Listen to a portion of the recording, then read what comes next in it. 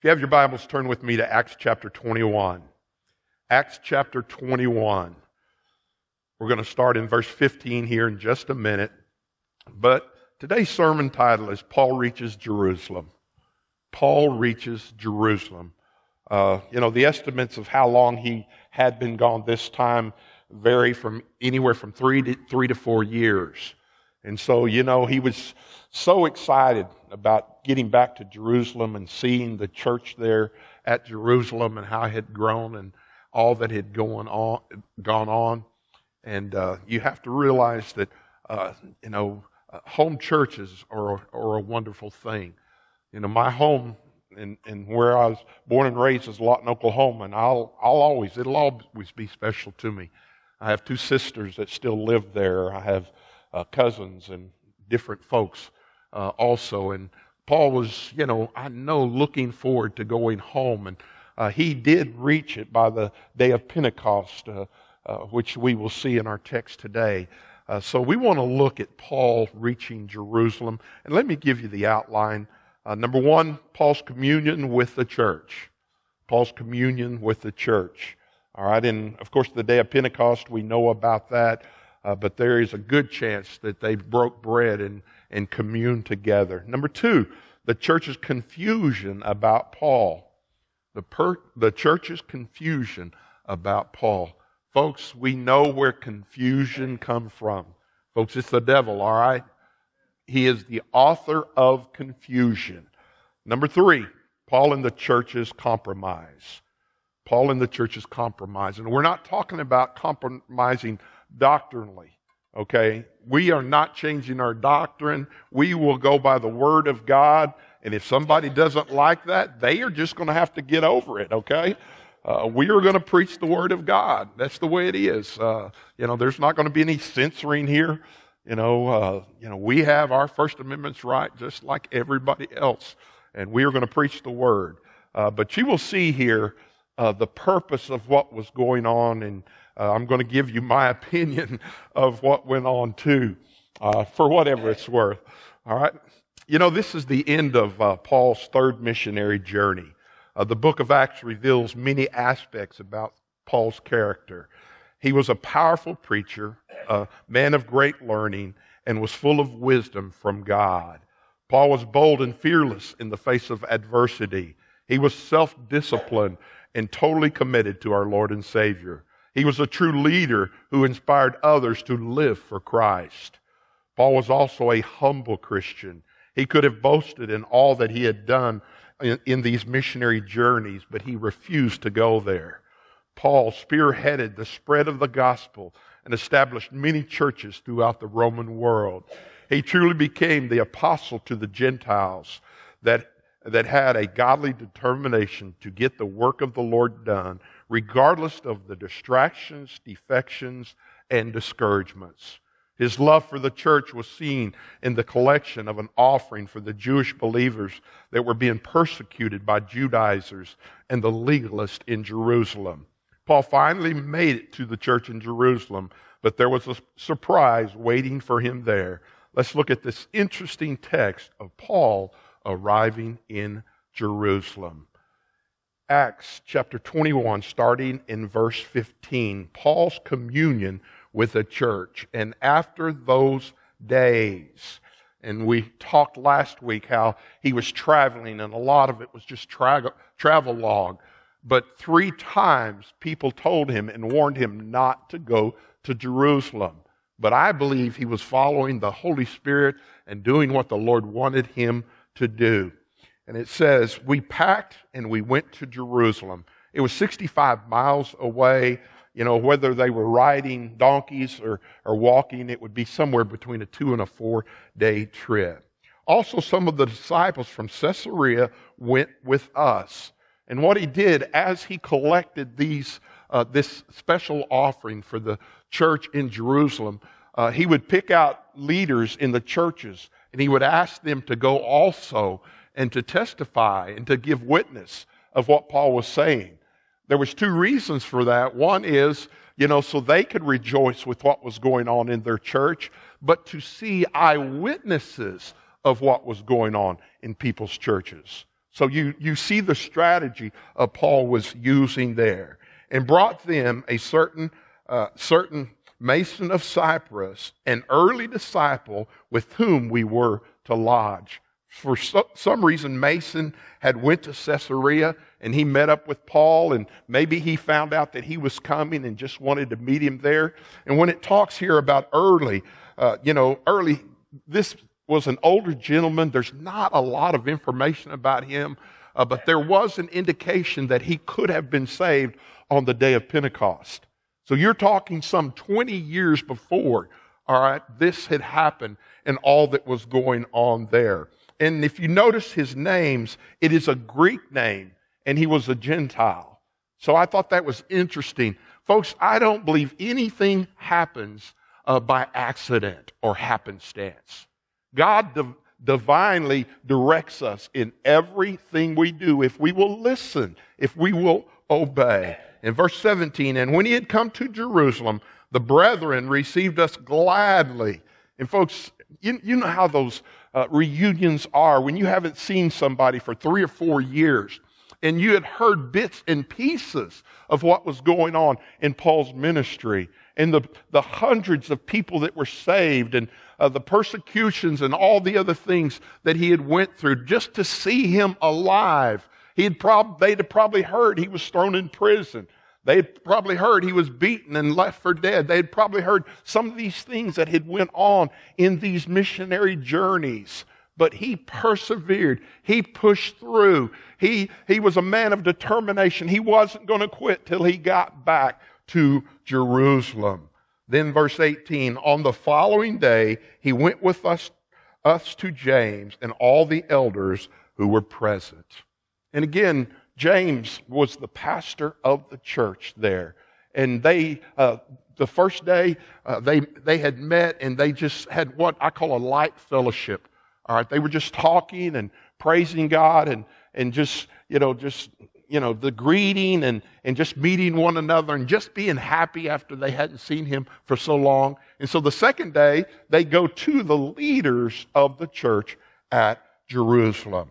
And when he had greeted them, he told them in detail those things which God had done among the Gentiles through his ministry. And when it says in detail, you have to realize their church services probably weren't like ours. Okay, we have specific time slots. All right, we meet at 10 o'clock or 10:30, and when it gets to about 11:30, we think we need to go. All right. Now I'm not promoting preaching 45 minutes, all right? That's not what I'm saying. I'm simply saying when you are in revival, when something great is happening, you do not care what time it is. I said in a service for J. Harold Smith for two and a half hours. We baptized 72, no, no, we had 72 professions of faith that day, and 12 of them got baptized on the spot. And nobody was complaining about that. And I'm not complaining to you. I'm simply trying to get you to understand their timetable is not like our timetable. All right? Folks, when the Holy Spirit moves, you know what we really need to do? We need to take our watches off and just put them in our pockets. Because I'd rather see what God does than worry about a roast that is burnt at my house. Okay? There are dollar menus everywhere. All right? The second part. And when they heard it, they glorified God. Folks, that is so important. They weren't glorifying Paul. They weren't telling Paul what a great job he had done, even though our, our man side, our, our human side wants to hear that. They were praising God to hear that these Gentiles were being saved, that these churches were being, uh, you know, uh, bloomed and, and blossoming. That these new Christians were being discipled and that leaders were, were being raised up. And Paul would stay at those churches till he felt like there was a leader there that would go. So they just had a praise and worship time that went on for, I'm, I'm guessing, for a long time. Now, hold your finger there and go to 2 Corinthians 10 with me. 2 Corinthians 10. The Apostle Paul is writing here, 2 Corinthians 10. And we're going to start in verse 12. And here's basically what he's saying We have no reason to brag about anything. If it wasn't for God, nothing would happen, folks. We sow, we plant, we water, we even reap. But the Bible says God gives the increase. So Paul could have boasted on what he had done in these years that he was gone. But he did not. He simply told and testified what God did. And folks, human pride, it's in us all. If you say you have no pride, whew, I, I, you know, I'm, I'm not sure about that. We all have some form of human pride. And folks, we have to keep that down. We have to beat that pride down. For we dare not class ourselves or compare ourselves with those who commend themselves. All right? We shouldn't have to compliment ourselves, okay? We shouldn't have to throw hints around for compliments. But they measuring themselves by themselves and comparing themselves among themselves are not wise. Folks, it's easy to do. You, for instance, if you're looking to be spiritual, you know what you do? You talk about somebody that is not spiritual. Why? Because they make you look better. You think, well, I ain't like oh, and you just fill in the blank. That should not even be a topic of your discussion, folks. We only please God. My job here, as much as I want to make everybody happy, I'm pretty sure that is not possible. It's just not. Even with my good personality, all right? I, I don't understand that. Folks, I'm serious here. We're not always going to agree. We're not always. But folks, don't pick out other people's faults. That's what he's saying. Let God take care of that. All right? When in doubt, do without. When in doubt, be quiet. Don't say it. If someone comes up to you and says, I probably shouldn't tell you this, stop them. Here's the deal. Well, don't. Well, just don't. Now they'll go like this, but just don't. We, however, will not boast beyond measure, but within the limits of the sphere which God appointed us. God will praise you if you need praising. God takes care of us. A sphere which is especially includes you. For we are not overextending ourselves as though our authority did not extend to you, for it was to you, and we came with the gospel of Christ. And folks, people put even pastors on pedestals. Folks, this week in the news, right here in Fort Smith, it broke my heart to hear what happened. And we shouldn't spread that. We shouldn't spread that. We should pray for this family and pray for this church. If it wasn't for the grace of God, folks, we should not do that. Verse 15, not boasting of things beyond measure, that is, in other men's labors, but having hope that as your faith is increased, we shall be uh, greatly enlarged uh, by you in your sphere. Folks, sometimes we get caught in that numbers thing. How many did you have in church? How many baptisms did you have this week? How many? And I understand a guy told me once, hey, they wrote a book on numbers. I'm not against that. But folks, we shouldn't compare to other churches. I'm telling you, I believe the man that is in rural Arkansas, southeastern, running 25 in Sunday school and has been at that church for 25 years is just as important as those who are on TV today. God acknowledges that. We shall be greatly enlarged to preach the gospel in the regions beyond you and not to boast in another man's sphere of accomplishments. But here it is. But he who glories, let him glory in the Lord. Folks, it's not about us. It's not about us. It's about God. It's about praising Him. If we want to boast, we need to boast in the Lord. Can I tell you what Jesus has done for me? Can I tell you how God answered a prayer request of mine?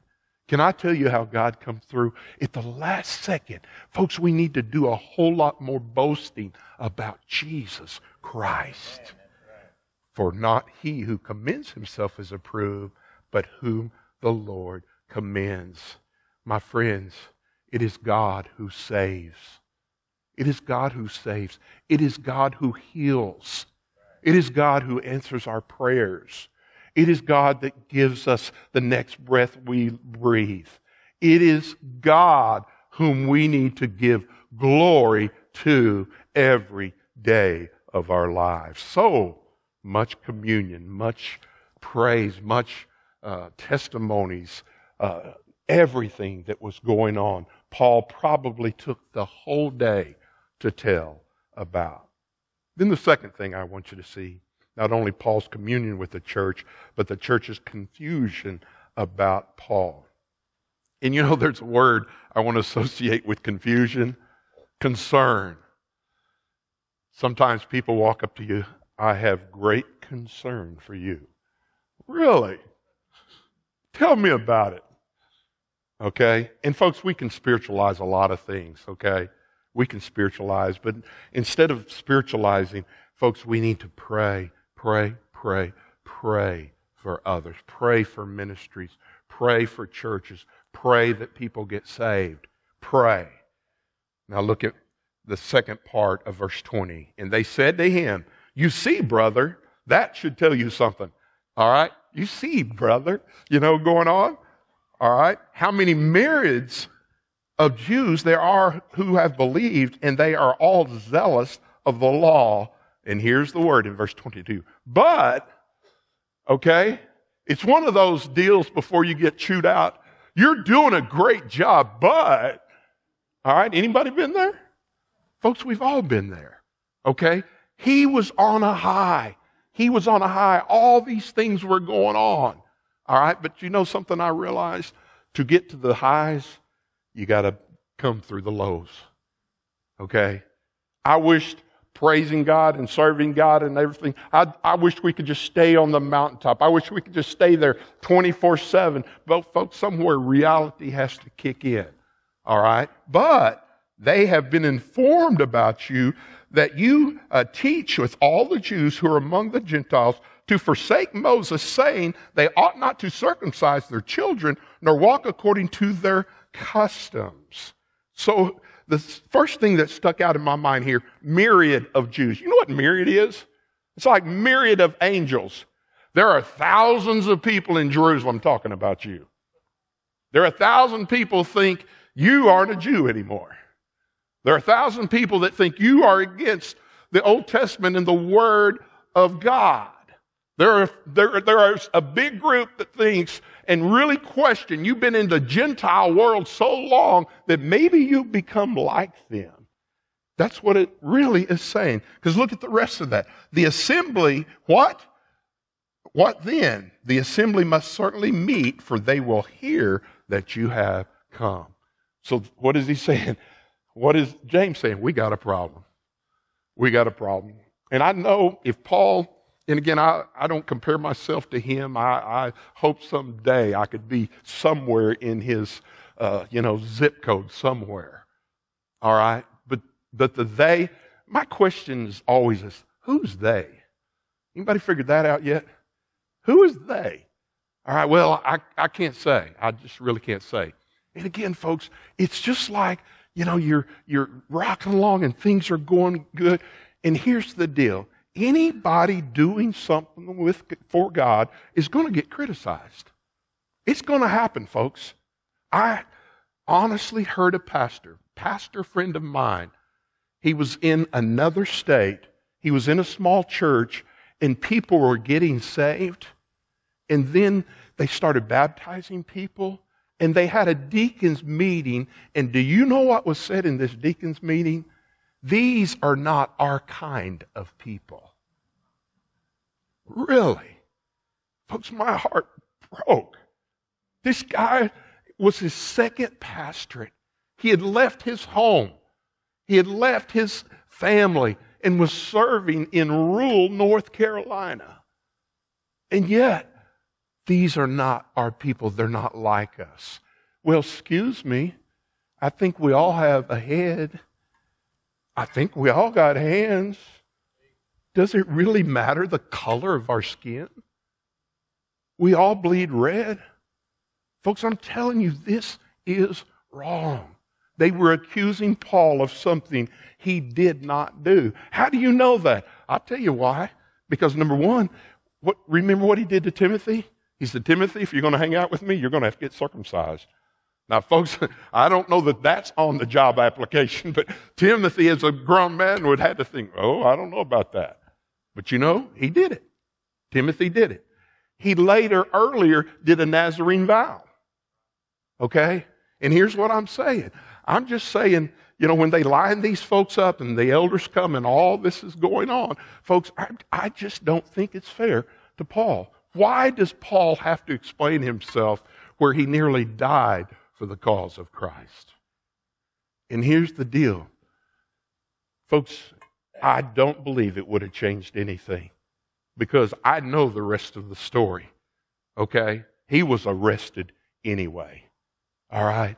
So, folks, you, you have to realize how much danger rumors are in a church. Rumors will divide a church rumors will squelch the Holy Spirit in a church. Rumors, uh, folks, you, you just, why, why, can't you do what the Bible says and just go straight to the source? Go straight, to, that's what Matthew 18 says. And folks, I'm not, I'm not saying anything like that is going on here, but I've seen it my whole life.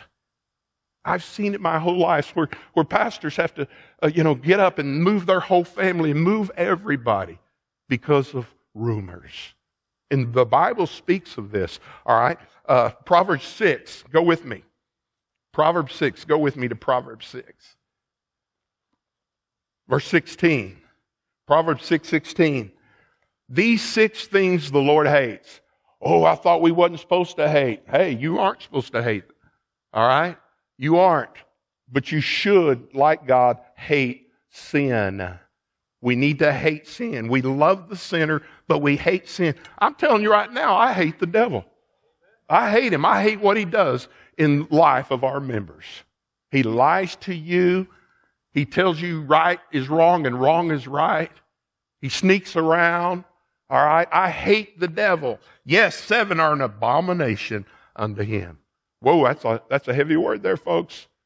First we go with hate. Abomination is I can't believe you would do that. I can't believe it. 17, a proud look. God hates a proud look. Folks, the Bible clearly says we all should be humble. Humble yourself in the sight of the Lord, and He will lift you up. A lying tongue. How can I believe you the second time if you lied to me the first time? Folks, tell the truth. Even if it gets you in trouble, tell the truth hands that shed innocent blood. I'm telling you, the judgment of God is on America because we've been aborting children and babies for years and years and years, and we are simply reaping what we have sowed. A heart that devises wicked plans. Okay, he's not looking out for the best of you. Hey, folks, just because somebody says, I'm looking out for you, that may not be the truth feet that are swift to run to evil, a false witness who speaks lies. And here's the one, and one who sows discord among the brethren. Folks, I'm telling you, we need to tell the truth, but we also need to tell the truth in love, is what First Peter says. Check your facts out. Well, I read on the internet the other day. Well, I read Facebook and check it out, folks. Check it out. Paul, I believe, was attacked unjustly. I don't think it should have happened. Turn to uh, 1 Corinthians 10. 1 Corinthians 10. 1 Corinthians 10, verse 23. All things are lawful for me, but not all things are helpful. All things are lawful for me, but not all things edify. Let no one seek his own, but each other's well being. Folks, we need to respect others' beliefs. All right, Paul was not telling the Jews that they could not be Jews. He was not telling the Hebrews, hey, you have to forsake that. If they associated that with salvation, then Paul had a problem with it. But they settled all that at the Jerusalem Council. You remember where we talked about that? The Jerusalem Council, yeah, you can still do some of these things, but some you can't. Eat whatsoever is sold in the meat market. Ask no questions for conscience sake. All right? And folks, that's, that's the deal now. People, you know, want to say, okay, you eat pork chops? You eat bacon? I sure do. All right? I sure do. Why? Because Peter in Cornelius' house, who was a Gentile, God set all this meat and all these beasts there, and he just said, What I clean is clean. You have to understand, too, the, the processing of meat back then was just, ugh. I mean, you probably would not eat some of the stuff that was set on the table. When you look up and you see an eyeball there, you probably are going to have a problem with that. All right? All right? But here's the deal we need to respect one another. For instance, if I know a person doesn't eat pork and I invite them to my house, I don't need to serve pork, folks. Just common sense. Okay? But if somebody wants to eat pork, let them eat pork. You chew on whatever. If you want to, you know, munch on salad and herbs and do it. That's good. You'll lose weight and you'll be healthier. Okay? If any of those, uh, I got somebody tickled over there. if any of those of you who do not believe invite you to dinner and you desire to go eat, eat whatever set before you, asking no questions for conscience sake. Don't call them up beforehand and say, What are we going to have? Ooh, ooh, no, you got to change the menu. All right? You ought to just thank God, one, that they invited you, two, that they were going to feed you. You can find something to eat on the table. But if anyone says to you, This was offered to idols, do not eat it for the sake of the one who told you. For consciousness' sake, the earth is the Lord and its fullness. There are people that have that. There are people that don't think you ought to. There's vegetarians. Folks, I tried it for four months, vegetarian, and you know what I decided? I would rather die. I'm serious. I was so hungry all the time. And I would walk by a hamburger stand, and I'm just like, oh man. And I was doing it for discipline purposes. But it was the hardest three months of my life, folks. But don't mess with those that do. Conscious I say, not your own, but that of the other. For why is my liberty judged by another man's conscience? But if I partake with thanks, why am I evil spoken of for the foods over which I give thanks? Folks, I am not going to not have fellowship with somebody because of what they eat or what they do or, or drink or, or, or, or that. Verse 31 is the key, folks. Therefore, whether you eat or whether you do, here it is. Whatever you do, do all to the glory of God. Folks, my life verse is 1 Thessalonians 5:22. Avoid all appearances of evil. When in doubt, I do without. But I am not going to judge another man. I'm not going to judge another woman by what they eat or what they have on or the color of their skin and how many piercings they have or how many tattoos they have. I, w- I refuse to judge people on the outward appearance. Why? Because God looks on the heart. So we see the confusion, the so called concern. These Judaizers were just spreading lies and rumors about Paul. And folks, I'm telling you, many people have left our churches because we have judged them the minute they've walked in to our doors. And it should not be. Number three, and Paul and the churches compromise. Back in our text, Paul and the churches compromise. Acts chapter 21, verse 23. Wherefore, do what we tell you. we can all get along. Why? Do what I tell you. I'm just telling you, folks, I think you're understanding where I'm coming from. All right? That's how I know I'm not where Paul was. Okay? Because these phrases just, it's just like they just go all over me. Okay? Won't my track record be enough? Won't my preaching be enough? Won't my soul winning be enough? If you'll do what we tell you, we have four men who have taken a vow. Take them and be purified with them. Pay their expenses so that they may shave their heads, and that we may all know that those things in which you were informed concerning are nothing, but that you give yourself also and walk orderly and keep the law. So take these four men with you. Well, folks, we know the Nazarene uh, uh, vow was 30 days. So there's already, you know, 24 days that had went by or 20, 23 days that had went by. So one thing, they were asking him to go right into the middle of the vow because these folks have already done it and they've already started it. But as an expression, as just showing, okay? Then the second thing is, he said, you need to pay for these four guys. Folks, one of these, you had to pay for the haircut, you had to pay for the animal sacrifices. There was a lot of expense there. All right? My question is, why didn't the church pay for it? I mean, if they want to pay for it, why did Paul have to pay for it? I do not understand that. All right? And the whole deal is he's already done what he, they are asking him to do. And that's why I say, I understand compromise, and I'm not saying Paul did the wrong thing. Paul did the right thing for him. For him. Paul chose to do this. But when put, people put pressure on me and put pressure, and folks, uh, what they have is these subtle hints, these subtle hints that are almost a threat. And then they say, Well, I didn't really say that. That wasn't what I really said. And that's when we have to say, Really? That's kind of what I heard. Help me with this, if you would. Folks, we do try to avoid arguments. We should. We should all try to get along.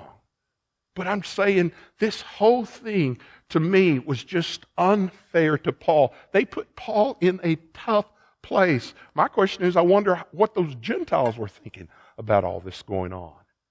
Okay? What were they thinking? And they were just, I, I really believe they were scratching their heads and not really understanding. Verse 25, but concerning the Gentiles who believe, we have written and decided that they should observe no thing except that they should keep themselves offered from idols, from blood, from the strang- strangled, and from sexual immorality. So they took a little bitty piece of that vow and they did it. My question is for the Jewish people of that days, and if you remember the temple things, they would not even let a, a, a Gentile in their place. Okay, they stayed on the outside. There was a court, all three different kinds of court for women, uh, for men, for the Holy of Holies and all that, but the Gentiles just stood out there. Why? It's our tradition. Let me give you an example. I choose to wear a beard since January the 1st. Why do you care? Why does anyone, and nobody, I'm serious, nobody criticized. Well, I say, one said that's not much of a beard you have. One did say that, all right? And that was my son, by the way, all right? But do you see what I'm saying? I choose to wear a, a tie and a coat today. Does that make me any more Southern Baptist than some other Southern Baptist. You know, I choose to ride a motorcycle. All right? I'm not going to rob you. I'm not going to beat you up. I've got a headband that I wear. All right? I ride a Harley. Am I any different, folks, when I'm on the Harley and when I'm sitting in this pulpit? But yet you'll sit here and you'll listen. You, some of you have been listening to me for 17 years. 17 years. And all I'm saying is, folks, we've got to quit judging books by covers. Everyone is important to God. Everyone needs salvation. Everyone needs to walk with the Lord and have a church that loves them and have Christians that love them. And I'm telling you, we treat people the way Jesus treated people, we wouldn't have to worry about them coming back. They will want to come back. folks, we've got to get this down. All of our churches, I'm not picking on us. People tell me we're a friendly church. And I thank God that we're a friendly church. But we need to go that second mile. We need to make them feel welcome. We need to exchange information with them. We need to tell them that we love them and we are glad that they're worshiping with us. And folks, I am telling you, Paul looked over that, and I'm just saying, Paul, I'm just telling you, he is my he, Jesus Christ is my role model. Paul is my hero when it comes to Bible characters. I'm not so sure I could have done that. And it's the human side of me. I'm not saying I wouldn't.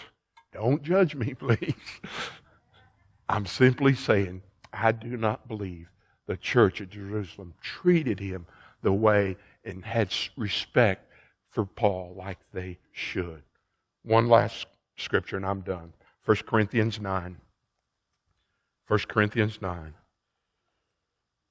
1 Corinthians 9, verse 19. Though I'm free to all men, I have myself become a servant to all. Folks, that's what we are. We are servants. That I might win the more. To the Jews, I became a Jew. And I'm just going to go on down there. Those without the law, I, more. Those who are weak, I became weak. Go back, go down to verse 22. To the weak, I became weak that I might win the weak. I have become all things to all men that I might by all means save some. Okay? He knows he's not going to ha- have salvations for everyone he talks to. But he has that desire to share the gospel with everyone. It doesn't matter what they look like, it doesn't matter what they have on. Now, this I do, here it is, for the gospel's sake, that I might be partaker of it with you. Let me tell you something, folks. All lives matter to God. Everybody. Everybody needs God. Father, thank you for the day. God, thank you for the word. God, sometimes we don't get it. I really believe the Jerusalem church didn't get it right. I really believe. And God, I just pray, Lord, that we just accept people for who they are. That we will just love people for who they are. That we won't judge them or qualify them or stereotype them or try to put them in our box. God, I pray that if there's one here that doesn't know you, God, I pray today would be the day of salvation. God, I pray that uh, they would just feel welcome here. I pray that the Holy Spirit would just, just say, man, go down the aisle. Man, go get saved. Go get saved. And God, I pray, and I, I do believe with all my heart, we will welcome them with open arms. So, God, just help us. The easy thing to do is act like a Christian when we're here, Lord. But tomorrow's another issue. Tomorrow we're going out into the world. Tomorrow uh, we're going to be tested. Tomorrow we're going to be persecuted. Tomorrow we're going to be tried and even judged. And God, I pray that we would be like Paul. I pray that we would just try to do the right thing. Lord, even sometimes that hurts. Not to do the right thing, but how you are treated when you do the right thing. So, God, I pray that we would reach out to everyone that we would welcome everyone. And God, we give you the honor and the glory and the praise. In Jesus' name I pray. Amen and amen. Would you stand to your feet? If God has spoken to you in any way, would you come?